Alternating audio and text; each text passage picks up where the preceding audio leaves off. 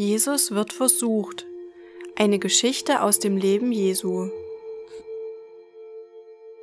Direkt nachdem Jesus von Johannes getauft wurde, ging er in die Wüste. Er blieb dort 40 Tage lang, ohne etwas zu essen, und war sehr hungrig. Da kam der Feind Gottes, der auch Teufel genannt wird, und redete mit Jesus.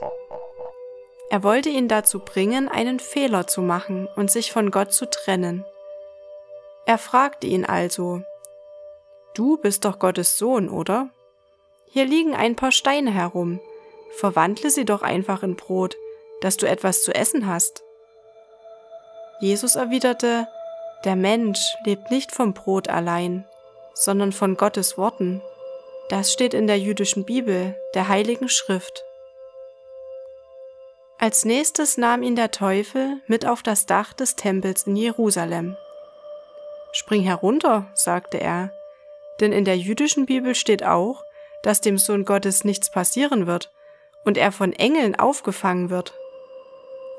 Jesus antwortete, Ja, dort steht aber auch, dass wir Gott nicht herausfordern sollen. Als letztes nahm der Teufel Jesus mit auf einen hohen Berg, von dort aus konnte man die ganze Welt sehen, alle Länder und Königreiche.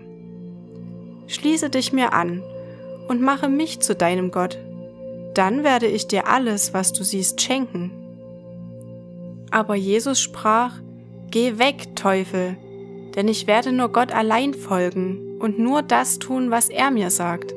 So steht es auch in der heiligen Schrift.